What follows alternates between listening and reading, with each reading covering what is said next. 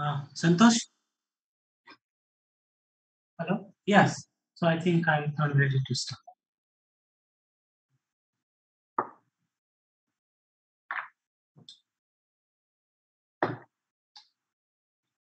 Hello, everyone. Uh,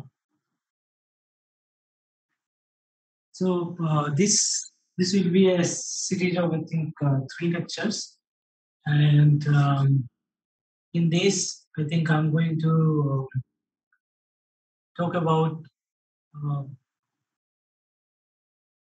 more more or less basically the introduction to galaxies, and and see um, how far we can go uh, in these lectures. Like the ultimately aim is to understand the, the physics of, uh, of, of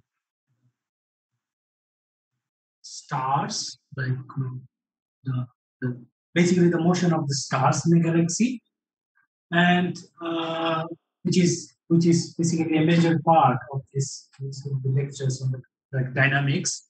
But before that, I'll I'll, I'll walk you through the to the general like sort of introduction and what are the current uh, problems and uh, uh, what is interesting and what are what are different different problems that we we should think about how to understand them today.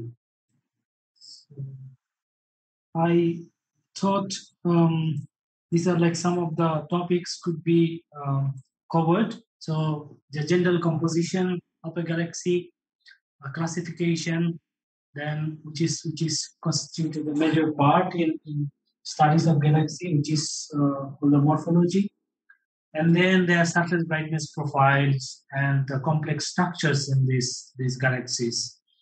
And um, then there is a um, there's a dynamics part, which which can be um, sort of ensembled in under like basically it's a, like a many body system. Uh, uh, there are there are billions of stars in galaxies as you notice. Um, so how do these stars interact and uh, what is the the dynamics part in the galaxy? So to begin with, I um, go to first, like very as I said, the general picture, uh, which is um, the, the Hubble's extraordinary contribution uh, in the in, in, terms of our understanding of galaxies, because this is the uh, the Hubble deep field, um, which is uh, uh, it's an amazing like you know, piece of work, which tells us like basically how far in the early universe we can go and um, and how faint uh, galaxies that we can, can discover uh, through this, this powerful telescope. Um, so uh, so this is this, this has been a uh, the major work because you can see when it was the Hubble Deep Field is located in in the in the southern hemisphere. Okay, you can see the point. They have the fornax and Eridanus. Um, this is a basically a blank piece of sky. Okay? A blank piece of sky, uh, uh, which is a typical requirement for for um, for creating uh, the field because there should not be any bright stars to contaminate the faint structures that you want to see in the sky and then Hubble, like you know, stare it for a longer, longer period of time and produce this this image in, in different filters, just uh, merged together to create these uh, colorful images of, of the sky. So this is uh, also this field is also like in some sense our window to to look into our the past. So uh, how these galaxies were in the, in the, in the very, very early universe, And through this, you can see um, uh, some general um, the, the images of the galaxies, which are more or less like uh, point like objects. Um, not always resolved due to the, the limitation of the telescope. Um, and these are basically the some of the redshift six, redshift seven galaxies. Um, you can you can see, and many a times in the the, the, the trouble is is to uh, identify these galaxies, detect these galaxies, which is, is a major task because the, you need to understand the, the background noise very well. And uh, uh, the black that you see in, in black pixels, uh, uh, which are basically the, the signal which is coming from a galaxy. And uh, the rest of the part is basically where you can see is a background. So one has to understand uh, very well the, the background noise characteristics and, and then only we can talk about the, the detection of the signal. Then um, the uh, it has not stopped. Like so, so people have been exploring the Hubble Deep Field both on the on the on the southern hemisphere, which is the the Chandra Deep Field South, and also on the uh, northern hemisphere, Chandra Deep Field North, or the, the Goods North and Goods South, both the, uh, the, both there is a piece of sky which is where the deep field is like uh, is there, and people have been exploring using the HST, like even how far we could go. And this is one of the, uh, the one of the furthest known galaxy at redshift 11.1 by Pascal Oesch. And this is how the galaxy looked like.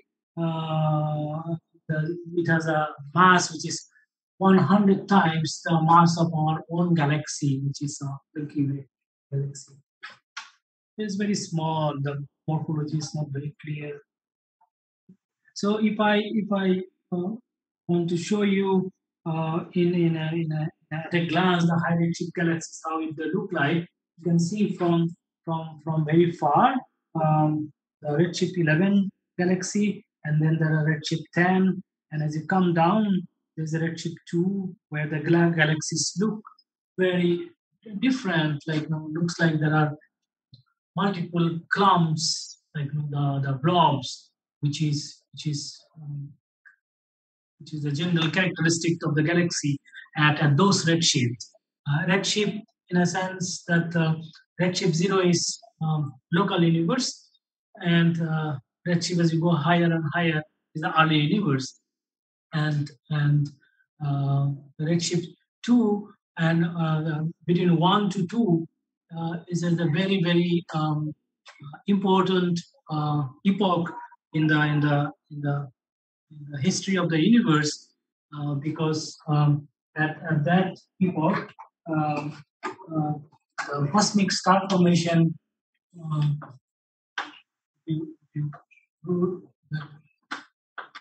so far had sort of you know, peak and then it sort of go down. And this is where the redshift one and so this is that's uh, that this is where the, the sort of cosmic star formation wave density uh, the peaked in the in the universe. And at this this part the a lot of galaxies have those the clumps like not very very well um, sort of is probably the galaxies are in the early phase of like an assembly. Okay, this is also like you know like can we talk about galaxy assembly? Okay. Now, uh, as you come down to the lower and lower redshift, uh, which is in the local uh, universe, you can see the typical galaxies have uh, have uh, the sort of like arms, like just a spiral structure kind of thing, and uh, you can see like you know more evolved um, structures, and um, this is what we, we want to understand. And then at the end, you can see this is the picture of our Milky Way, and where um, this is not a real picture of our Milky Way galaxy, but this is an artistic impression, but which contains all the details um, that that that we know from from various pieces of information and which is put together, and that's the that's the picture of the Milky Way galaxy, which is much more like a mature big galaxy with a, a spiral arm. You can you can you can see, and there is a like central structures and many more. There's a lot lots of like you know, details are available for the Milky Way.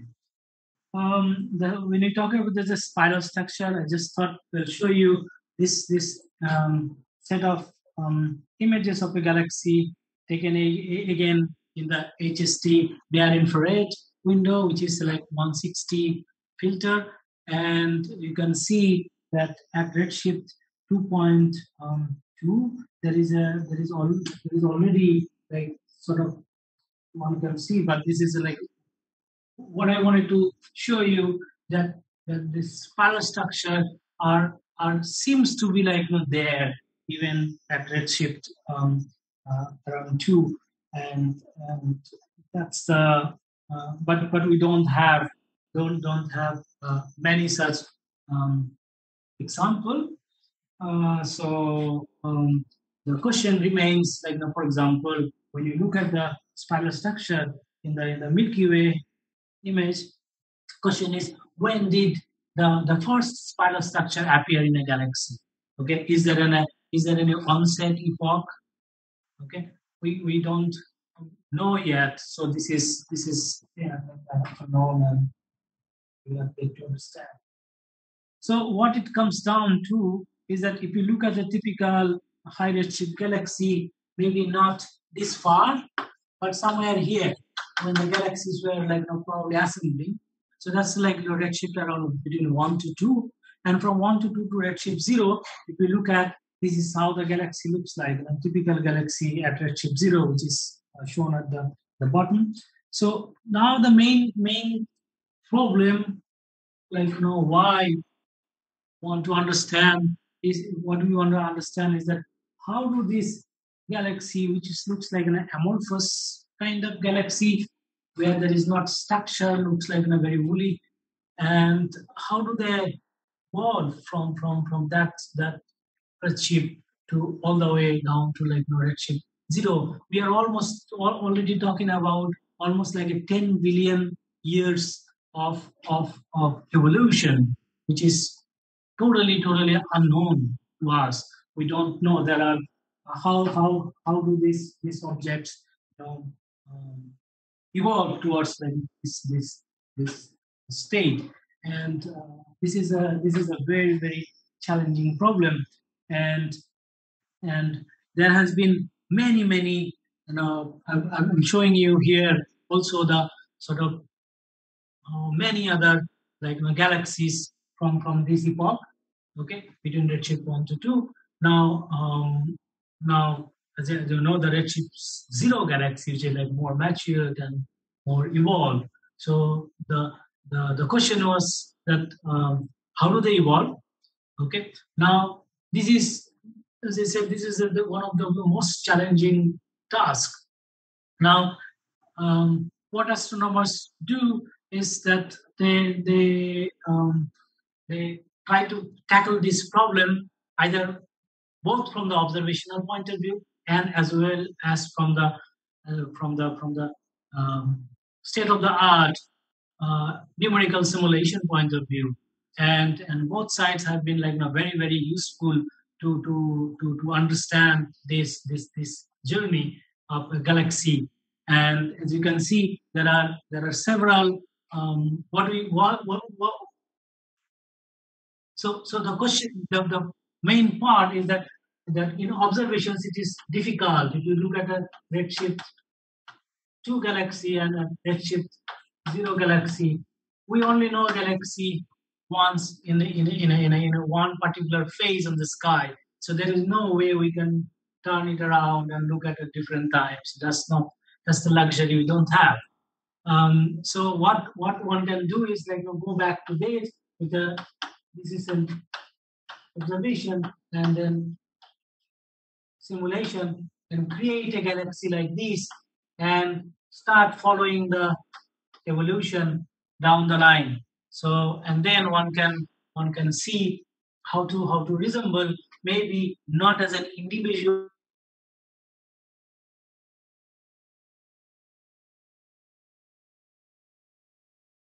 galaxy of certain characteristics and then you see how they are as a class evolving. So in this there are um, so it's it's again like you know, this is very very uh, up to date in terms of like you know, the research. We don't understand uh, lots and lots of things as you can see like probably many things that we actually don't understand. So but what we know is that there has been uh, a number of physical processes that that um, that sort of shape the galaxy one of them could be the gas accretion so the cold gas flows into the galaxy and as you know that the, the you heard some basics that the um, the dominant contribution of the matter is in the in the form of like ga- gas, which is basically neutral hydrogen gas. And when the gas flows in the galaxy, they they uh, condense, make molecular hydrogen, and then further condense and then form stars. So that's how the, the galaxy make their stars, which is the star formation history here talking about. And then there could be like the minor mergers, like you know, the small galaxies will be like eaten up by the bigger one, and then that's how they grow. That could be another process.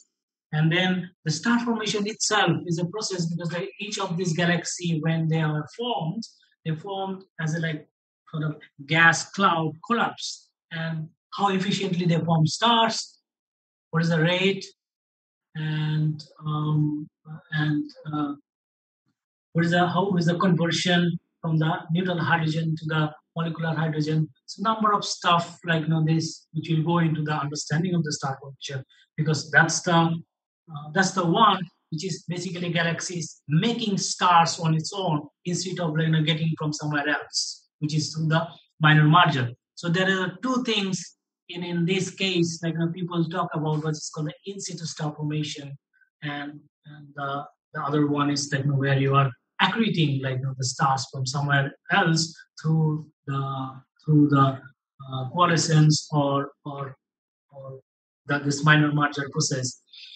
Then there are like sort of as it as it these are the stuff like you know, the physical processes probably much more important in the in the, in the very higher redshift. But as you climb down to this card and as you go to the like local and local universe, the galaxies are sort of more settled. Okay, and then uh, the scenario is completely different. So then there are slow evolution, like interaction, um, sort of flyby interaction between galaxies. Those are the kind of stuff that becomes more and more important. And um, let's so that's the that's the very very uh, like you know, in a in a in a nutshell like you know what we like to understand what are the problems in, in, in, in terms of in, in galaxy physics. So, um, so typical galaxy, if you, if you look, they are basically made from stars, which is the dominant. So local galaxy, like a Milky Way galaxy.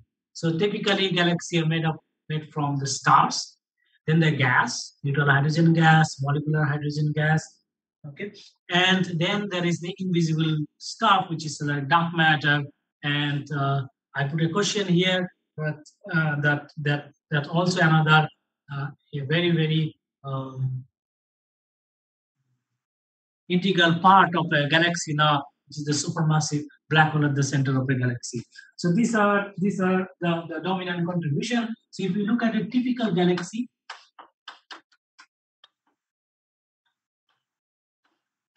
galaxy, for example, like our Milky Way.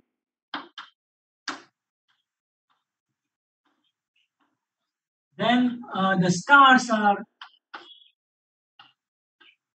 90% of the stellar mass. Okay, 90% of the this, the, the like all baryonic mass of the of the of the galaxy. Gas, a typical 10%. And then the, the total galaxy can have something called a dynamical mass, which is very different from the from the from the this baryonic mass. Okay, so in that case, the, the dark matter comes into picture. Okay, which maybe we'll we'll get into as you move on. So the the, the the typical in a, in a, in a galaxy like Milky Way, the dark matter could be could be a factor of few to tens. Okay, which means uh, the the dark matter mass could be ten times the, the baryonic mass, or could be a few times the baryonic mass of the, of the, of the galaxy, which is including in the stars and gas. Okay? So the dark matter like will vary 10 times tenfold or few times than the, the few times 10 times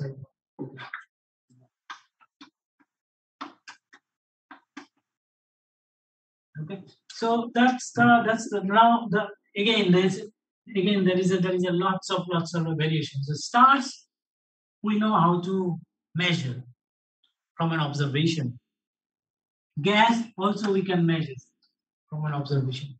This is not a measurable quantity, but we infer it from the from the, the motion of the stars or motion of the gas in the galaxy. Okay, so this is a model dependent term.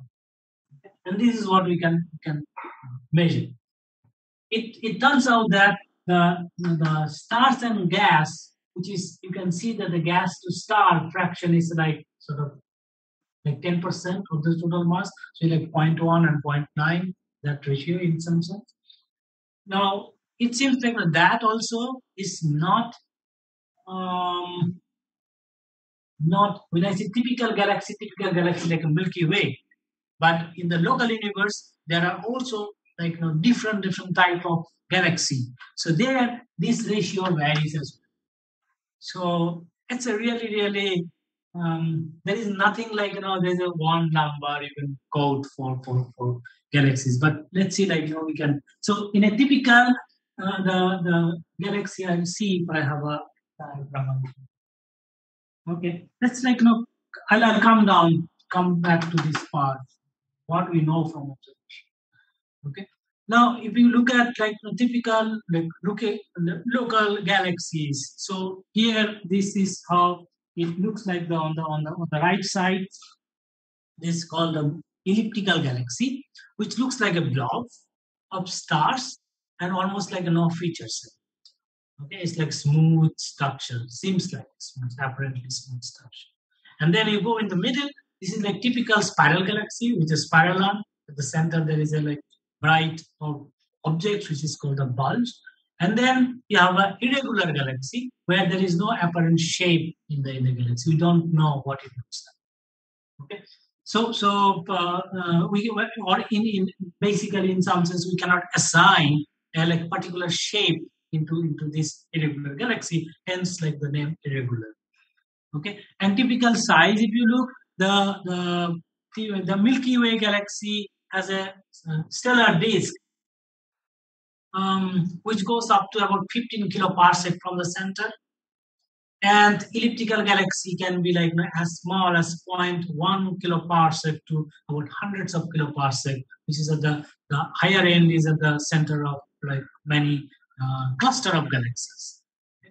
And stellar disk in typical galaxies also like about few pars kiloparsec to tens of kiloparsec. For example, one of the largest known galaxy um, in the in the local universe, it's Malin one, whose like size of the galaxy is almost like about 90 per kiloparsec.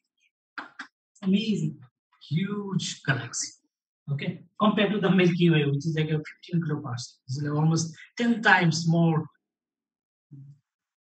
10 times larger than the than the than the Milky Way, stellar.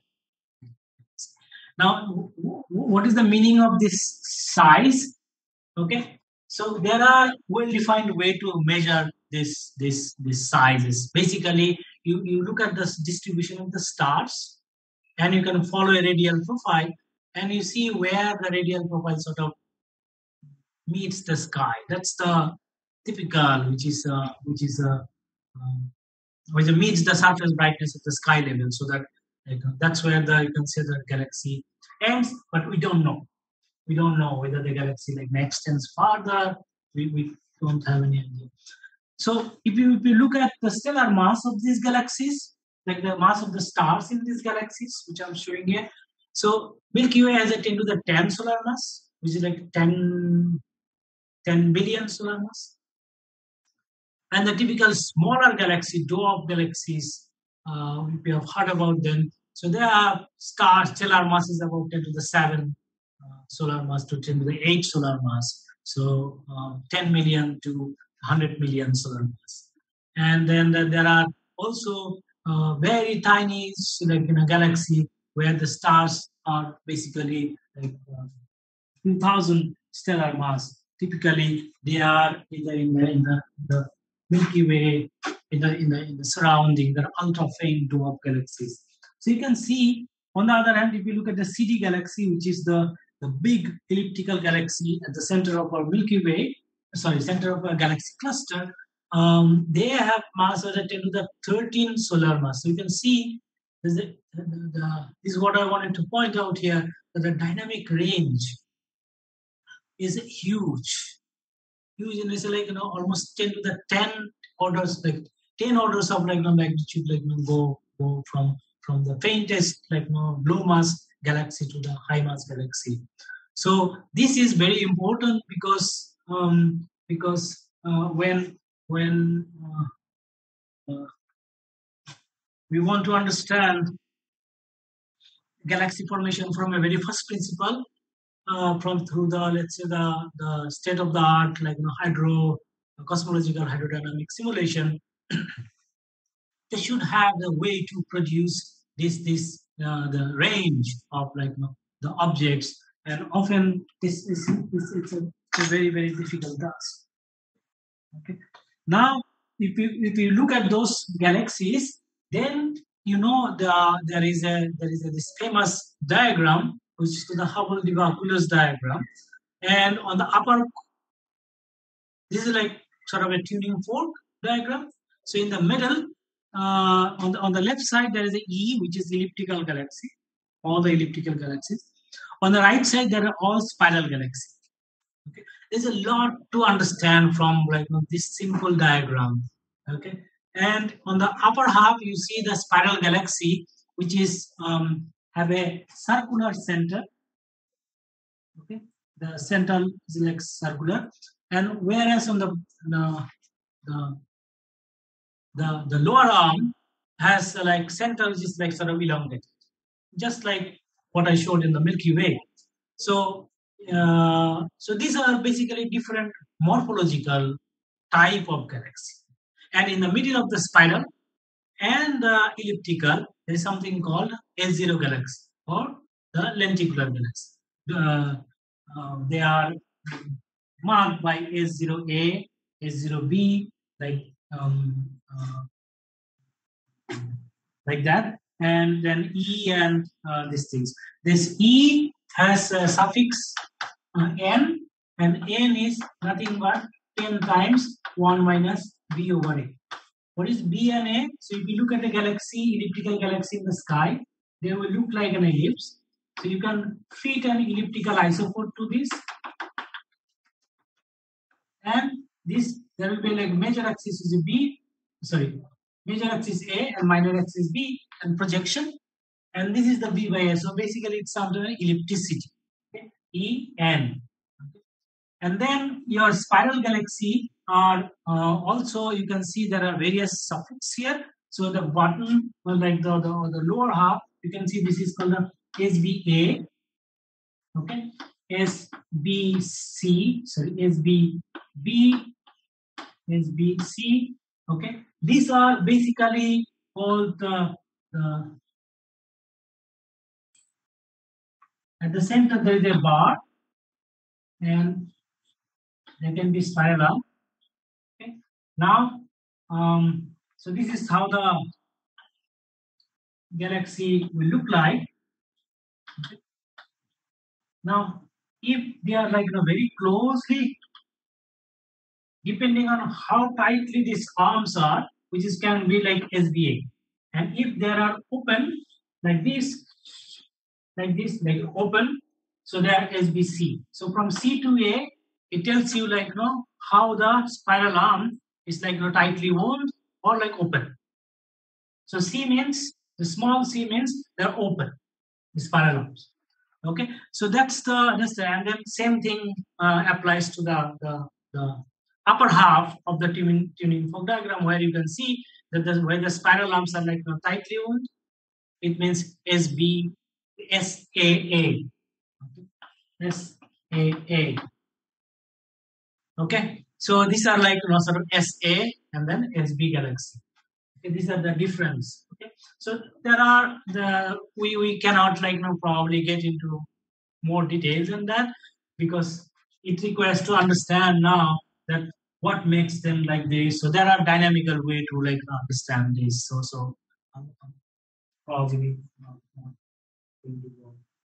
but you can see that apart from this three type the, the SB galaxy, which is the spiral with a bar, the spiral without the bar, and then elliptical galaxy. In between, there are um, lenticular galaxy, where there is not lenticular galaxy are basically one which when they lost their spiral arm, or maybe they no, we should not say lost their spiral arm. We should say that there is an absence of spiral arm in that. Okay, but they are not like an elliptical. They're not like like spiral because there is no spiral. Okay, they look like much more smooth, but they are like flat galaxy.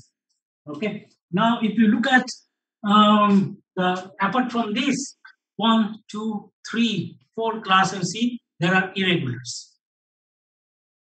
This is sort of what local galaxy looks like. Now you can you can see this space from the galaxy zoo. They are like done amazing work on on which is called the, the under the, the umbrella of citizen science you can act one well, one can like you know, participate in this this kind of program and classify galaxies or objects anything that in the sky. There is a uh, you can just like you know google it and you will find this this stuff.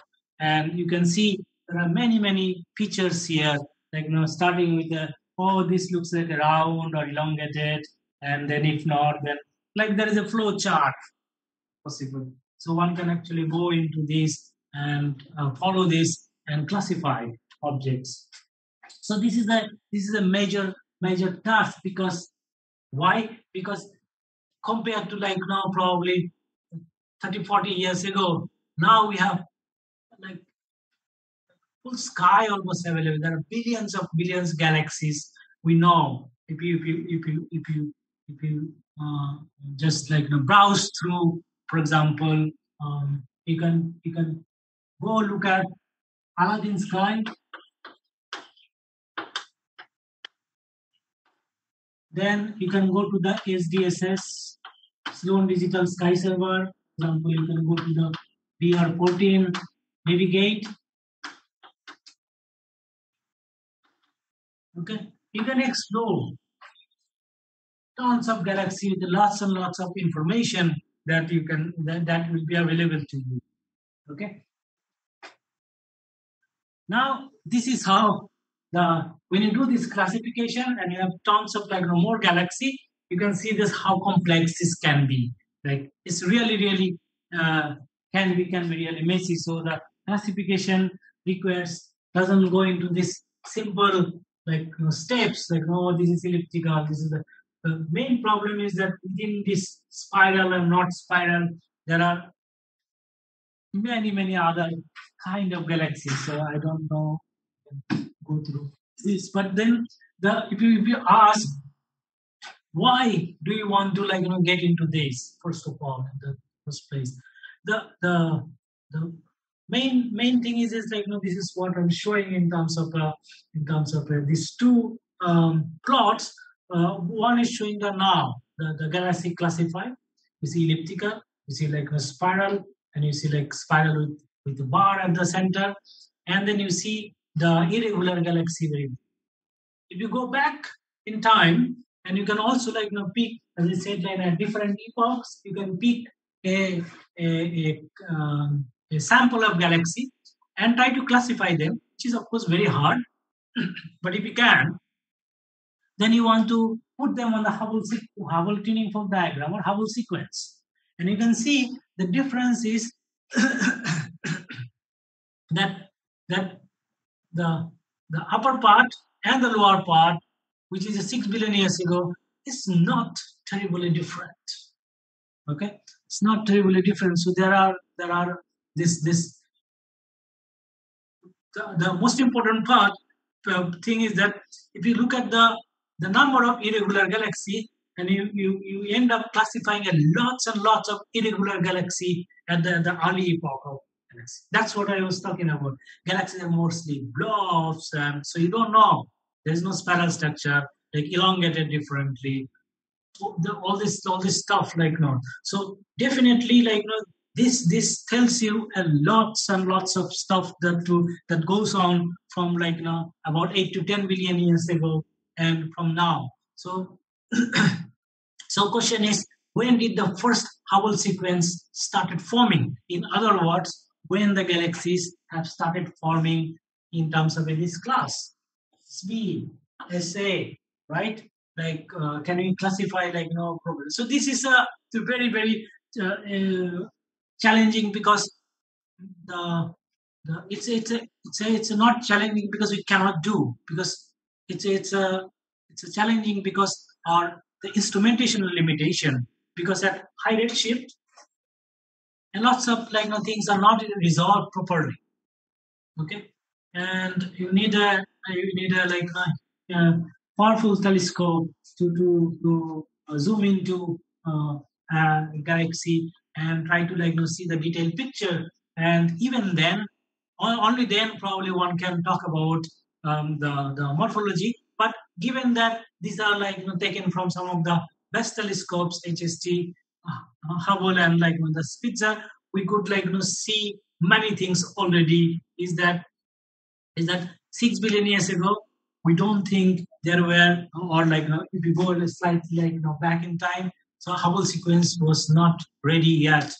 Okay, lots and lots of galaxies were actually amorphous.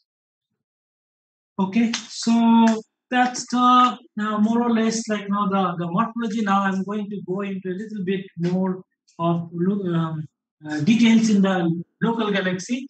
Okay, so uh, so when I went to the Hubble tuning fork diagram, you can see there's a, another like you sort of like names associated to this. These things maybe you will forget, but but I will try to like um, See, if you look at typical Hubble sequence here, um, SA, this is SB, this is E, this is S0. Okay. And if you look at these galaxies, okay, here, these are basically called the late type. Just, just consider this is early type.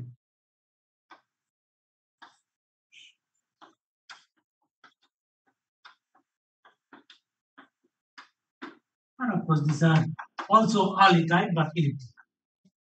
Between the late type and the elliptic early type galaxy, this gas fraction, like if you, if you really think in terms of uh, the, the fraction of the gas of the total baryonic mass and to the, uh, the, the stars, they really vary quite a bit. For example, the gas fraction goes down. if, if, you, if you say F gas, it can be as high as the amount of stars in the galaxy, which is like you know, the star to gas ratio is one to one. This it can go like really really low, like no less than even 0.1, less than 0.1. Okay, so which means that that this early type galaxy, which you see here, which is on the on the on the right side of your this Hubble diagram, those galaxies are actually gas rich when you go from here to here, early type, in this kind of morphology, they are actually gas poor. Okay?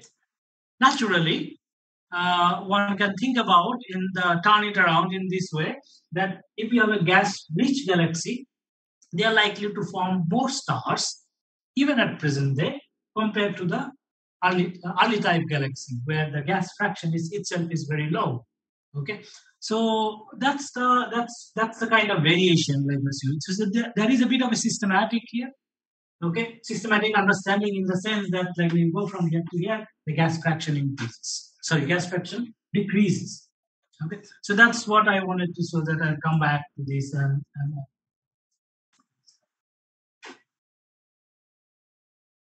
Now, if you look at like the all the complex structures in the galaxy, so the because first of all, why are we interested so much into looking at the galaxy? Because that's the only images that are available to us. Okay, and you actually can uh, look into enormous detail into these these images because these images are often easily available from this SDSS uh, server. So you can actually download. The first galaxy name is NGC 1300. The second one I do not remember. It's a, like a bit of a far away bar galaxy. And you can see that all the galaxies have central elongated structure. That's the okay, like this.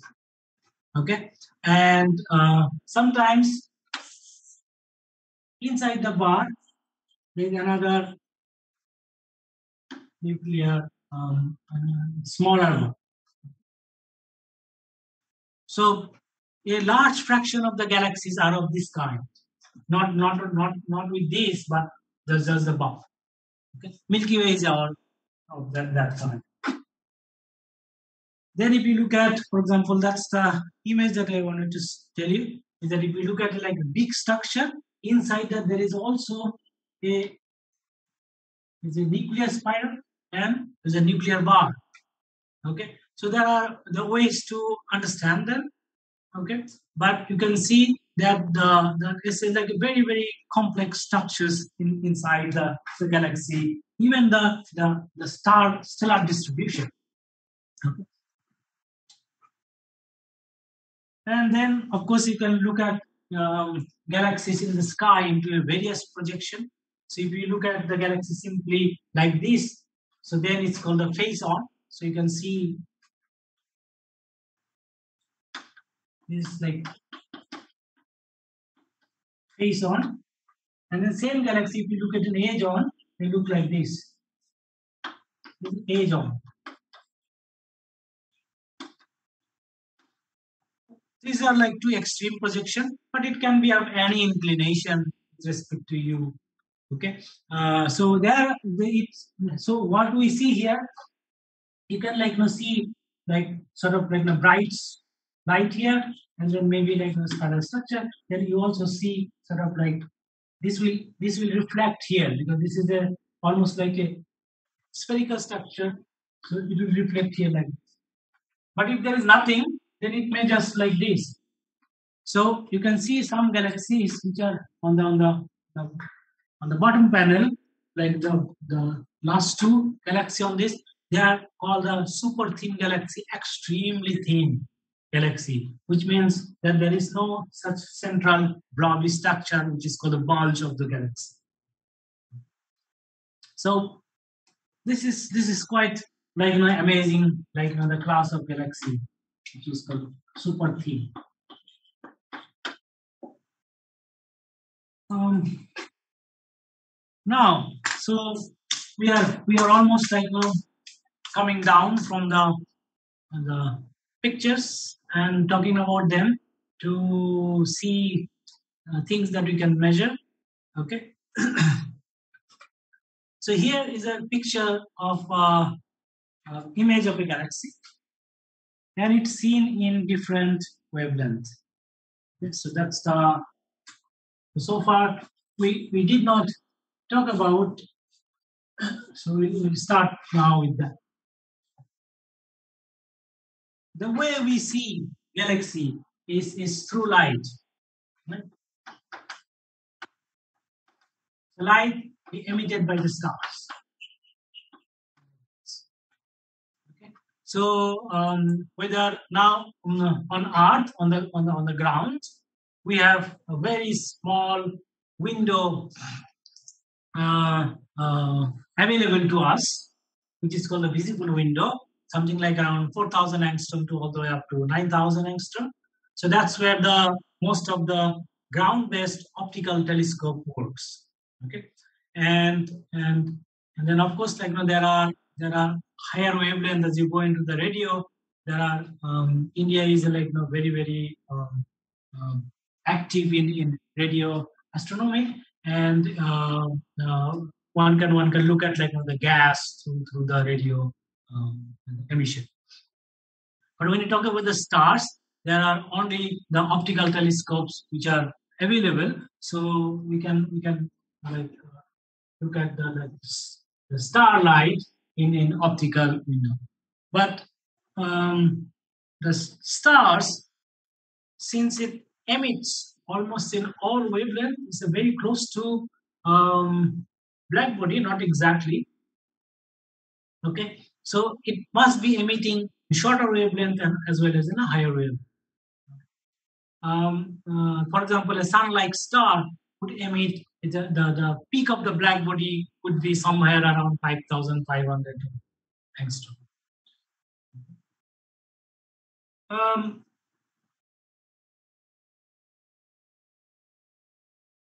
so, so what we know is that since we this the just plot here the intensity versus lambda.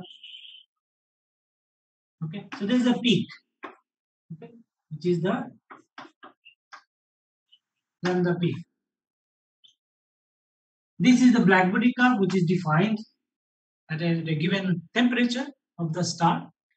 Okay, um, uh, as I said, like uh, it's not exactly black body, but there is a there is a good understanding can be can be like you know gleaned from from from these. Okay, now what is what is important here is that is that the stars emit at all wavelength. Okay, given a temperature T. If the temperature is higher, this peak shifts towards the lower side. Okay, if the temperature goes up, then the peak goes up, decreases. Okay, so it will, it will shift towards the shorter wavelength side. Now that's where the, the key, which means there can be stars which are cold. They will emit more or less in the in the higher wavelength side and there are the stars which are hot, they will emit in the shorter wavelength side. Particularly if, if the temperature goes like around 20,000 Kelvin, your peak may shift towards the toward, towards the UV, which is the ultraviolet window. And the ultraviolet window is not available on the on the ground, so we need to go to the space eh, to observe. And same are true for if you want to look at the X-rays. So these are the images of a same galaxy taken in different wavelength. You look at the infrared, then the optical, then go to the uh, UV, which is ultraviolet. You can see that the look of the galaxy, the way it looks, is a completely change from the from the optical to go to the UV. Right? So so which which means that um, when you look at the uh, galaxy in the optical, you see like you know, very nice structures with with the the star forming like region and everything. But when you go to the far ultraviolet, for example, so UV has two far and near UV Okay, each goes from like around 1300 angstrom to around 1800 angstrom. And near UV goes from around 2000 angstrom to all the way up to 3000 angstrom. This is actually you can calculate for a mean wavelength of around let's say 1500 angstrom what is the corresponding temperature okay the surface temperature of the star which means that those stars which are very, very hot, okay, they are very few in the galaxy, in the same galaxy. You can see these galaxies are forming, but very, very hot stars are very low in number. In other words, this, this FUV wavelength actually probes the, the, the very, very hot stars in, in, in general. Let's not go into the other complication, but this they are very, very hot stars, which means that uh, they are they can be also very young. Okay, typically um, like 150 mega year old or less. Okay, so that's the kind of age of the stars that we do, which means that when I'm looking in the far ultraviolet window, I'm actually probing galaxy in which stars are forming and they are at a, at a, at a very, very young age. So the recent star forming activity can be probed in different ways. In other words, just to summarize, that when you look at galaxies into different different wavelengths, each of them like you know, carries a very valuable information. And you want to understand the full picture of a galaxy, you need to have entire wavelength sample. If you don't have sample, then you have a, of course, like another incomplete uh, uh, picture, right? And this is a very, very challenging problem when you go try to do that. So this can be done, let's say, for the local galaxy. Even for the local galaxy, some wavelengths are not available. But you go to the higher and higher redshift, we don't have all the wavelengths available. So which means that the, we don't have all the information that is required to understand the, the, the full picture of a galaxy. Okay, so I think I'm going to stop here. And if there are questions, I will uh, I will try to answer. Else, we'll um, see tomorrow. I'll stop sharing.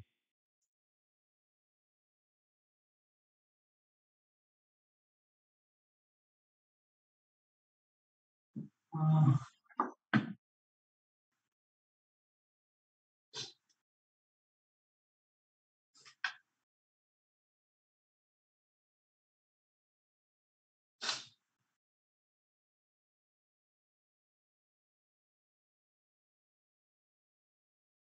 So there is one question from Muhammad Rehan.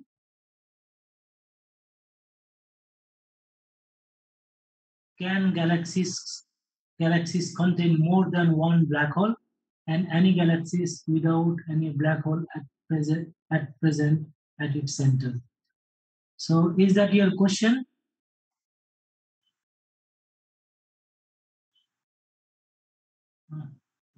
So I do not know how to. Um, so this is the question that comes to Google uh, Doc. So yeah, the to answer is that yes, galaxies can have uh, more than one black hole at the center, and Andromeda is a very good example.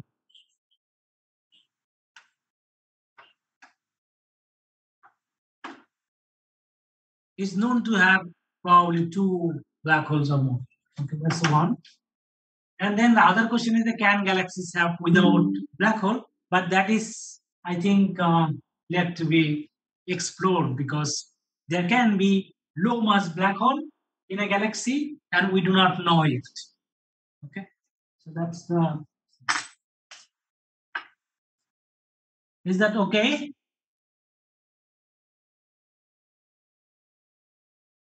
Is this um, the student can respond or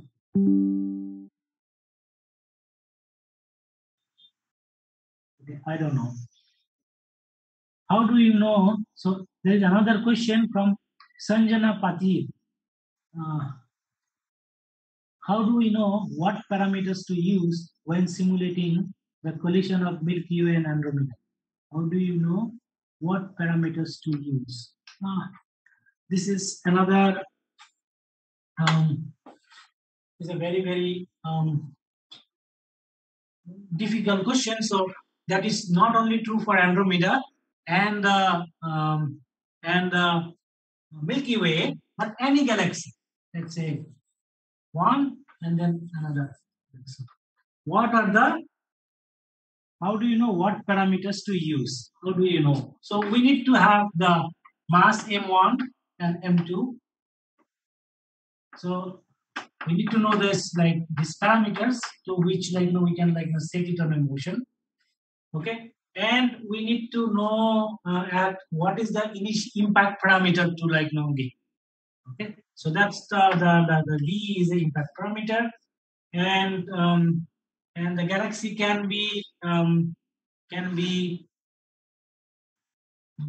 going like this like this right? Or or uh, and also like depending on the on the basically you need to set a full Euler angle configuration the three angles in the space between the two two galaxy. So i'll show a simple um, videos tomorrow this um, another question from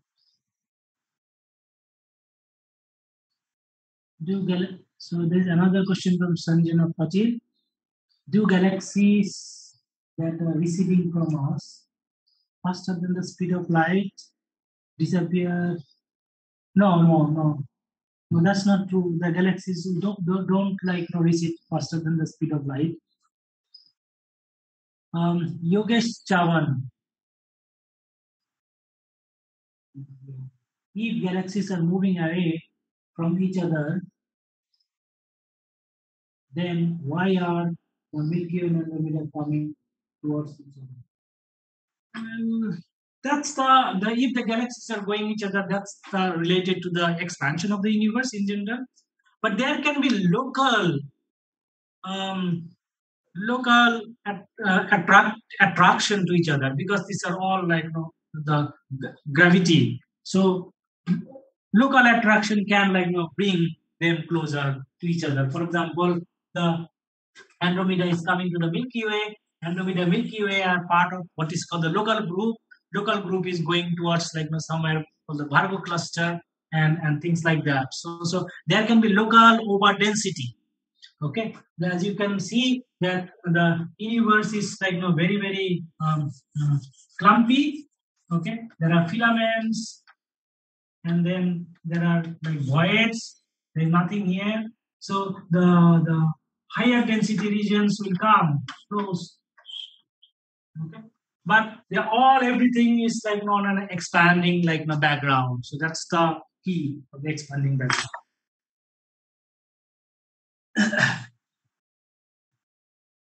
Can a barred galaxy get converted to spiral worm? Yes, um, they don't get just converted, but um, when when there is a bar and the as it starts forming and it it, also like you know, the spiral arm comes out at the end, but there is no like such thing like a conversion because the spiral arm which comes out at the end of the bar it could be short lived which may not last longer. Okay? i think I'm, I'm i'm going to show you a few simulation on the interaction and on the evolution of the of, of this kind there's a question uh, question that Shekhar Shrikant asked. Okay now Bharti, what shape of galaxy is wavelength dependent? Why shape of galaxy is wavelength dependent phenomenon? It is not not not a um, shape of the galaxy is wavelength, wavelength dependent, but I think you did get it like no correct. The important part is that when I'm looking at different wavelength, they probe different physics, different phenomena in the galaxy.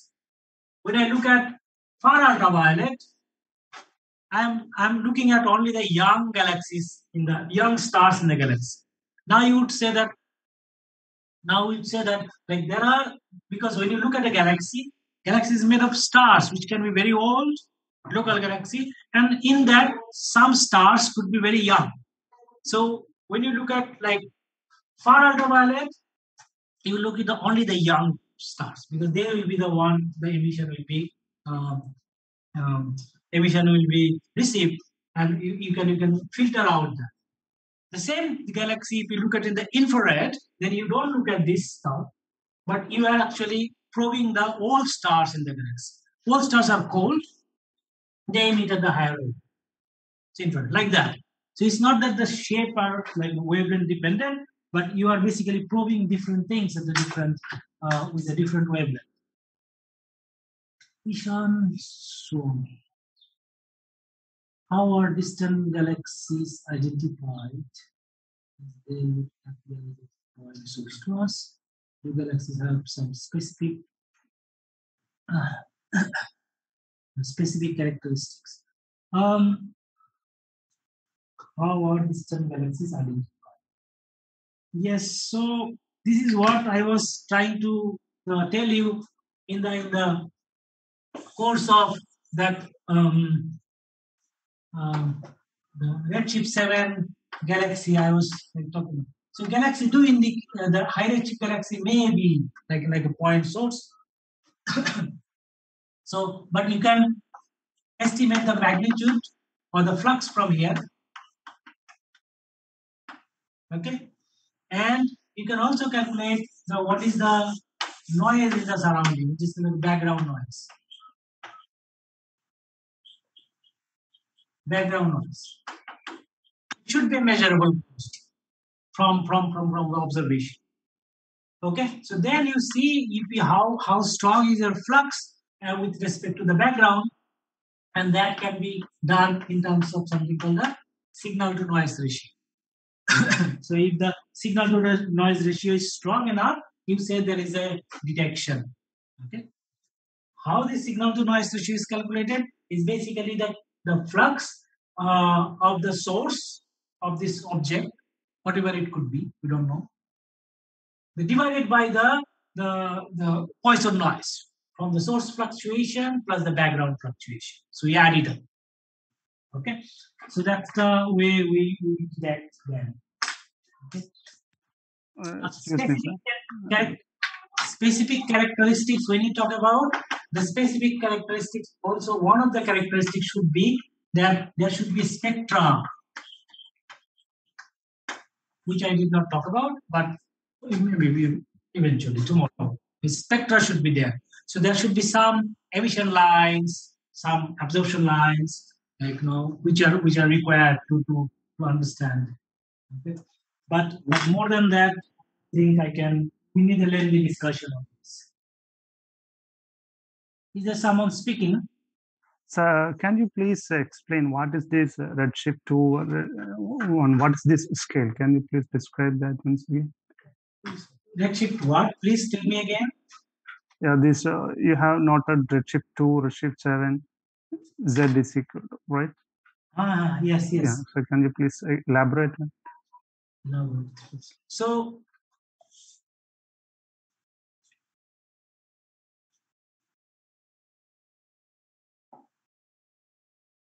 So the, the redshift like is a basically in terms of a, is a measure of a distance, let's say, to very sim very simple way. Okay. So the way we measure the redshift is through understanding the shift in the the the, the spectral line. Okay. so various transitions in hydrogen atom can produce like you know various emission line. For example, let's say from a from an object in the sky. I um, measure um, the light and I disperse and I make a spectra and I, I, I, I uh, measure, let's say, like you know, hydrogen alpha 6563 angstrom line, which is the uh, H alpha, or it could be, for example, um, um, alpha line, which is like you know, 1215.6 angstrom Okay, so these are like some of the strong lines that you see in the. Now you say that like so in the, in the, in the, in the image of the spectra, you see that like there are some lines here, some lines here. You compare this with the with the laboratory. So this is the observed, and the laboratory line. The same thing is here. So you you you calculate what is called the delta lambda, the shift in the. So that shift is basically tells you like uh, the you, you can use now the Doppler uh, um, effect. So uh, if this this the line is at a, at a, at a lab, laboratory line in the lab frame, if it is like at a at a wavelength at a wavelength which is like shorter than that, but then it appears in the observed in a bit higher wavelength, then there is a uh, the Redward shift.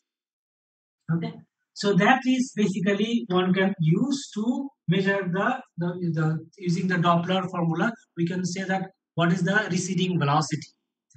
So the red shift in some sense, like you where we can see that how far away the relative the, the distance between the between the because once you know the receding velocity, you can you can estimate the the redshift from there. Okay, and uh, uh, so basically it's a measure of like how far away the galaxy is. So redshift zero means uh, means local. So which is like you know uh, in our Milky Way process. We are in the Milky Way. and then if if redshift is like you know, the one, two, or seven, they would be like you know, far and farther away. Okay, so which means that they are going at a, the, the, the relative like you know, the velocity will be very very high. So the shift in the line could be like know, very delta lambda could be very high, and when delta lambda is very high, the receding velocity will be also very high. So it's basically in that way. This is how we measure the redshift, okay, of a galaxy, and basically you can think about in terms of a also distance okay. The this is like relative distance then it's like more this is very far away. But there is a motion. The relative motion is basically is the one. So so from delta lambda you you estimate the uh, receding velocity which is used to measure the Thank you, sir. Thanks. um should i go how did we ever figure it out? I mean, it's it's a there is a there is a lot of like you know the history to it. Okay, the the question is, do we know that we are moving? Do we know there are because we are sitting at the sun? How do we know that we are we are um, going around the galaxy and what position they we are? So I don't know how to like you know address these things. Um, be- be- because there is a, like a lot of history to it. Um, so one can actually look at uh, from sun or from earth. We can we can look at it the the, the, the, various like you know the you can go around and measure um, the motion of stars at different like you know longitude different longitude okay? So which is like you know in the in a, in a, in a if you imagine you are in a galaxy in the milky way galaxy we are at the some age and from there you look at it like every direction to you and measure the um, the motion of the stars. So those motion of the stars has been used to infer like sort of our um, how the sun is like you know is in the relative like you know motion or not. So that's the that's how we could we could understand like many things. There is also um, from sun to galactic center studies like you know which tells us that like you know how far away they are. So there are various pieces of information. It's not just the one. Okay? Maybe this this is not very specific so i don't know.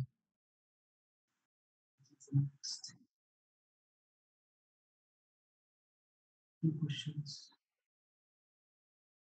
You know dark matter is very elusive. And we have only recently observed the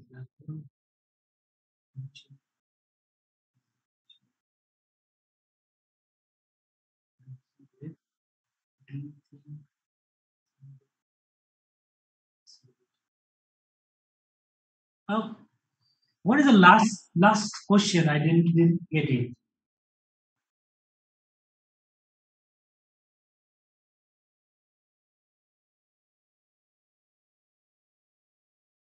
Do you think similarly there is a possibility? I, I don't I is is is correct. Possibility of what? Um, can you hear me, sir? Yes. Uh, so do you think there's similarly a possibility of us detecting the presence of dark matter through galactic collisions as well? Presence of dark matter through galactic collisions. Yes. So there is this like famous um, what is called uh, bullet cluster, right? Which is two clusters of galaxy like sort of merging, so colliding and passing through each other, and that's that has that's a very very standard thing. Yes. So one one one.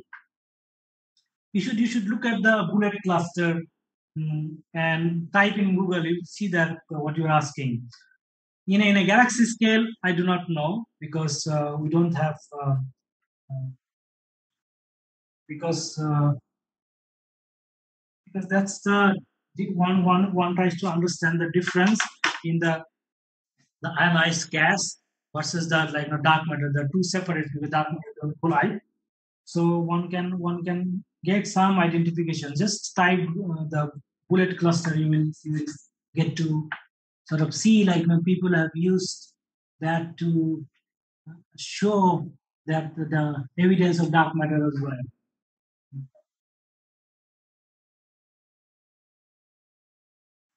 Why, okay, sir. Thank you. why, why is it that majority of galaxies evolve to this spiral bar galaxy? Um, this is also sort of the question is um, sorry? Uh, who is speaking?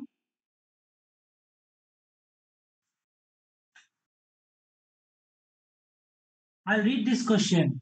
Why is it that majority of galaxies evolve to spiral bar um, galaxies? Because um, the answer is again as usual that like you know you get to hear that here we don't understand okay but it turns out that that um, that both bar and spiral structure if present in a galaxy they try to drive the galaxy in a state where they minimize the energy and angular. Okay. So they have, for example, if there is a spiral structure in a galaxy, it tries to like you know take away some of the angular momentum and throw it. Sorry.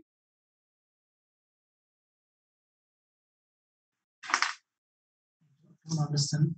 Who is this? So when you when you so basically the there is a the the the, the spiral galaxies like the these galaxies has a lot of angular momentum as you can see I, I have not come to this but we should, should to the center of the galaxy is bar spiral arm so whenever this kind of structure forms they will take away the galaxy's angular momentum and throw it to the outside maybe to the dark matter head. And then uh, the galaxy has less and less angular momentum okay and they work towards evolve like you know the, the, the big higher density at the center. So there is a evolutionary sense uh, associated to this this this um, that helps like you know, the galaxy evolving evolving towards this state. Okay? Thank you. yeah. But more details maybe in the in the third lecture. If i see that now if the similar thing i'll i'll, I'll, I'll touch upon this in the talk. does the tightness of the arms of this galaxy depend on the concentration of the dark matter? Uh, don't we don't know yet. I, I mean to say that it's it's apparently it does not because the tightness has related to like uh, sort of how it's a it's a it's a shear okay? It's a shear which which which basically um, lets the lets the, um, the spiral arm sort of uh, come closer to each other. Um, so there are various kinds of like you know, shear in the galaxy which means inner part will rotate faster, the outer body rotates like slower, but something close to is, is related, related to this, but not exactly. So then the structures will try to get wound up very quickly. Okay. Now, now um, that is not all. Okay, that is not. Do, do you understand? So when when the, the inner part of the galaxy in the stars, like you know, if you look at the angular velocity, omega versus radius, they are high at the center and then. Okay. So inner part rotates faster, outer part rotates slower. So the any structure, if you put in like the spiral structure, this will go fast, it will go slow, it will go slow. So they get deformed. So it get like tight. It's like it's like you make some rotation, like maybe a bucket of water. So there has to be limit when I make to stop. Um, Santosh. Um, okay, I'll read few. Sir, When do I have to stop because I cannot talk more? sir, I had a lot. What are what do we do with this? Like whose question is coming to the these things? Is is everyone asking questions on this Google document or or are there other others whose question I do not know? Is in the Hello, chat? sir. Yes. Uh, yeah, I had a question. What's your name? Sankarshan. Okay. Is your question coming to the uh, Google Doc? No, sir, I have uh, messaged you personally on the chat box. Chat box. So those are different. Yes, sir. Santosh? Santosh. So the chat um, questions are different, Google Doc questions are different.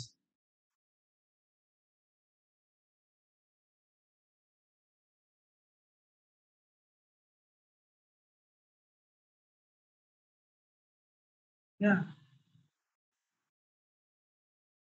I see. So then, uh, how do I like which one I give preference to?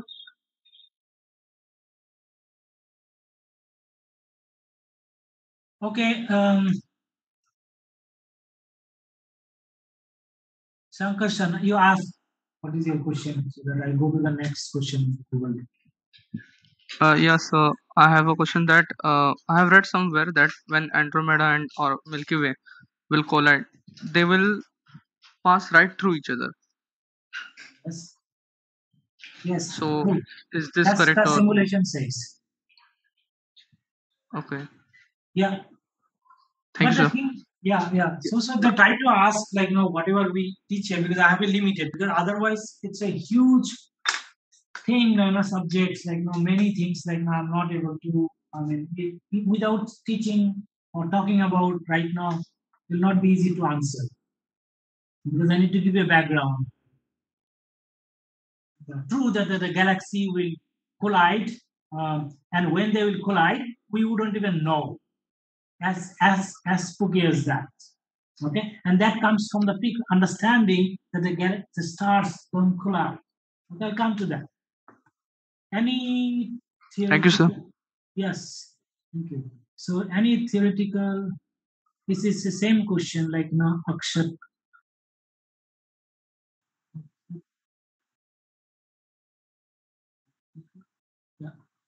Any understanding of why there are different shapes of galaxies? Um, no, I don't don't think we, we, we know this very well. Okay. Otherwise, otherwise, um, um, there are there are some understanding like, uh, but then you will ask the question, I know why is it so?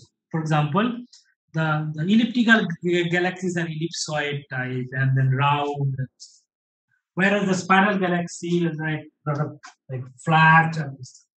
So the two galaxy formation are two different. In in one, the galaxies are formed.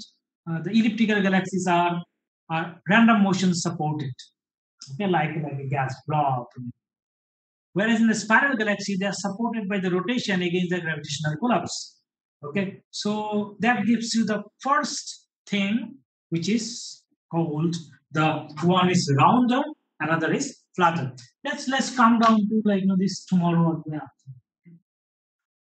Is SBC more stable shape than SBA? No, I think it's the other way around.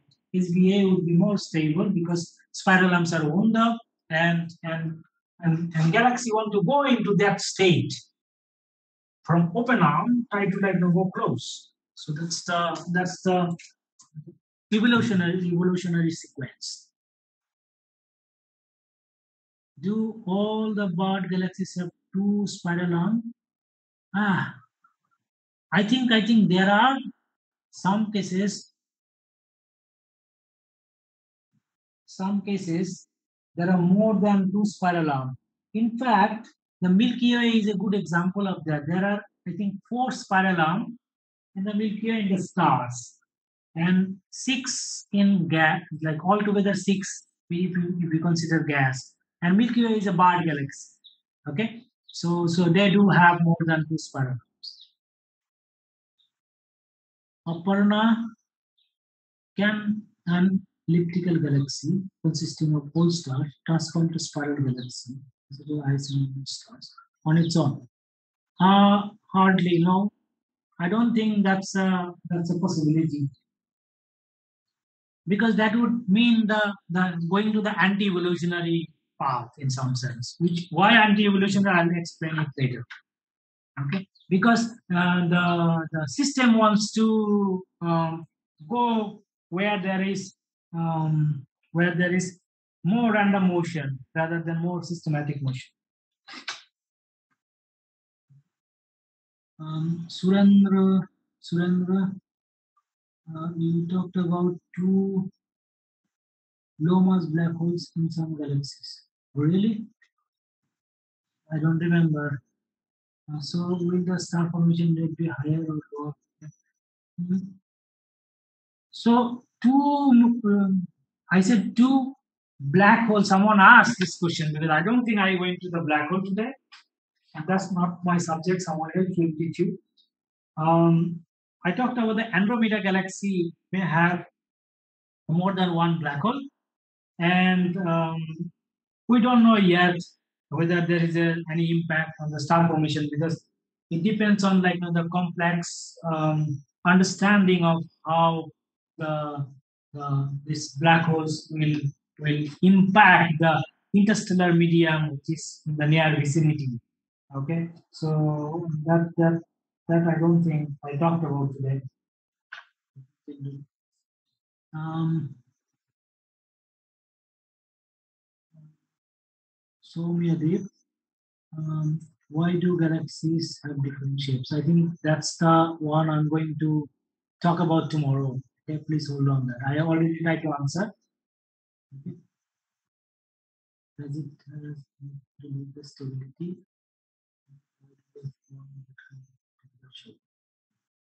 Yes. Um, yeah. So so many of my this thing can be um, can be uh, studied from a few books, uh, which is um, Galaxies in the Universe by Sparke and Gallagher. And then there are uh, bit higher level books, which is the Galactic Dynamics by Binney and Tremaine. Okay. And then um, I do not know more recent books, but if I find, I'll tell you. Um, Chandramouli, what is your question? Why in edge on view some galaxies have dust lanes, some don't. Why is that? How do the dust? How some galaxies have tidal tails? Can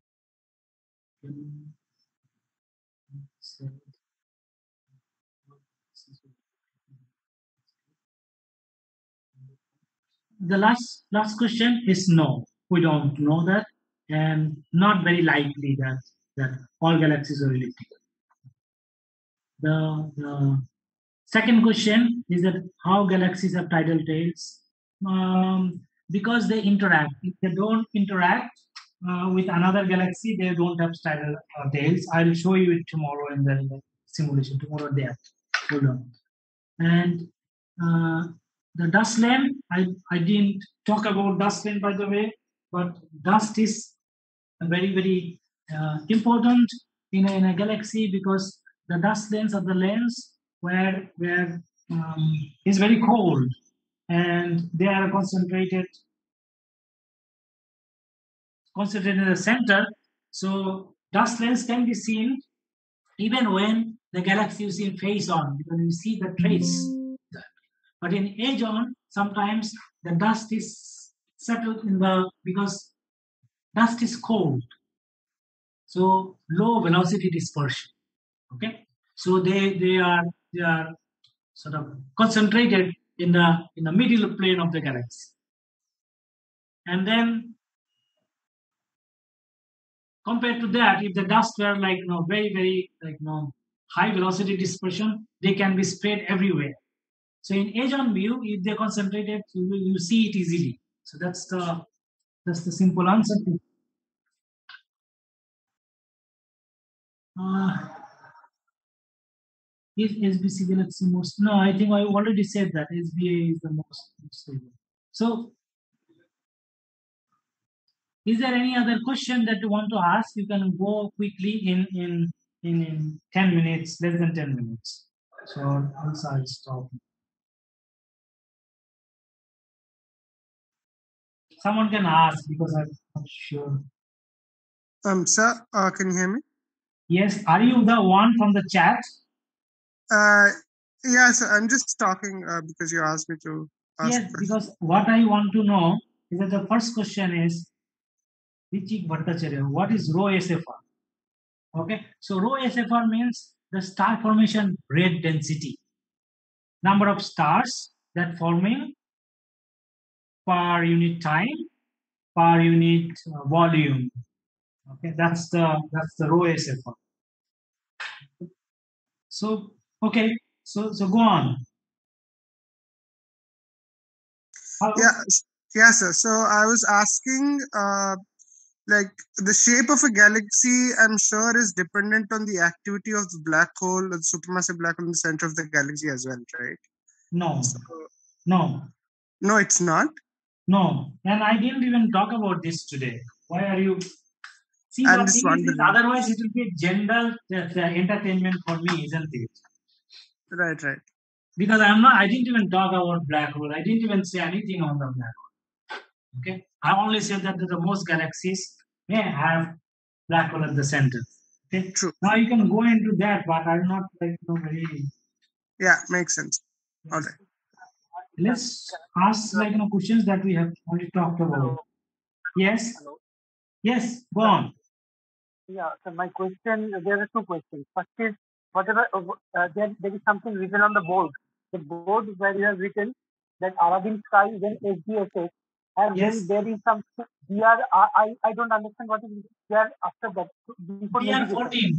14. Okay, DR 14. What, DR another thing 14? In Yeah, thank and you. type Uh, navigate. Yeah, I understood, sir. I understood. Uh, Okay. Another thing is that, yeah, sir. Another another thing is that we Tell are all, we are the Milky Way galaxy. We are we are actually inside the Milky Way galaxy. So Yes, of how course. do we have, yeah how do we have the picture of the Milky Way galaxy in spite of having been inside the Milky Way galaxy? And uh, the picture uh, you have shown, and I have seen it in the internet also. There are several pictures of Milky Way galaxy as a spiral galaxy. But Hmm. uh, in spite of being inside the Milky Way galaxy, how do you have that kind of a picture? That was my question. Ah, so so the the that it is true that we cannot take out one galaxy picture, but the image that I showed you, that is not a real picture of the Milky Way, taken from a telescope. That's Uh, an that artistic impression.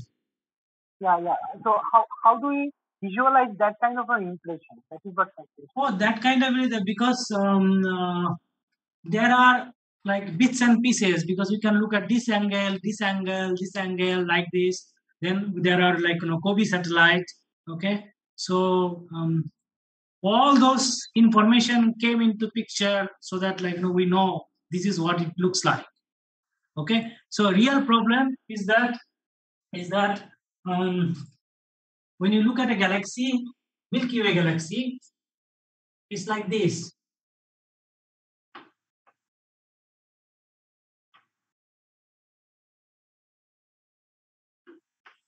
We are sitting somewhere here. When you look through this, there is a huge dust, everything. So it it it it if if if this were not like a dust, at the center there is a huge dust. So our uh, light blocks it. So whichever angle you do. But you can go to here, you know, up to like here, but not exactly at the like the center, but at some end. Okay, but now uh, because of the infrared uh, astronomy, uh, we can circumvent this like a dust quite a bit, and we can go through like you know the look at like you know some stars which are different class of stars. For example, this is the RGB stars and red giant branch stars and things. Very bright and very um, the standard luminosity of the star. So we look at those, okay, and with all those, you can get some picture of the of the uh, uh, idea. Okay, okay, this is why it is like that. So it's not like you know, just one simple observation taken from here, taken from here, there. and No, it's a lot of dynamical understanding plus those based on some observation that we are able to like you know like you know get that picture. So I'm yes, so that's the in a, in a simple way I would say. So it's not the exact picture, but this is and then also one can see the the in this like all the direction here around which is all in terms of uh, in terms of uh, in a neutral hydrogen gas that is another component now we know the uh, more like you know several million galaxy stars in the milky way through gaia satellite. Okay. Before that there were um, the COBE. Before that there were uh, like Hipparcos. So all those for example you can read uh, about the these Hipparcos, Gaia, there are many, many these kind of satellites like which have uh, explored like many, many stars around, and we have got some pictures out of that, like you know, which have some understanding and which makes us believe that we live in a sort of flat, like spiral galaxy. Okay, so there are maybe based. Thank you, sir. Now I understand. Yeah, so I you need to read a little bit more, but also look at this contribution. These guys have made amazing stuff, like you know, to understand because we are the center, so we don't know. So we are only first where like you know 500 parsec size, small volume available. us. Then with the Gaia, we can go all the way up to like here. It's like huge. Okay.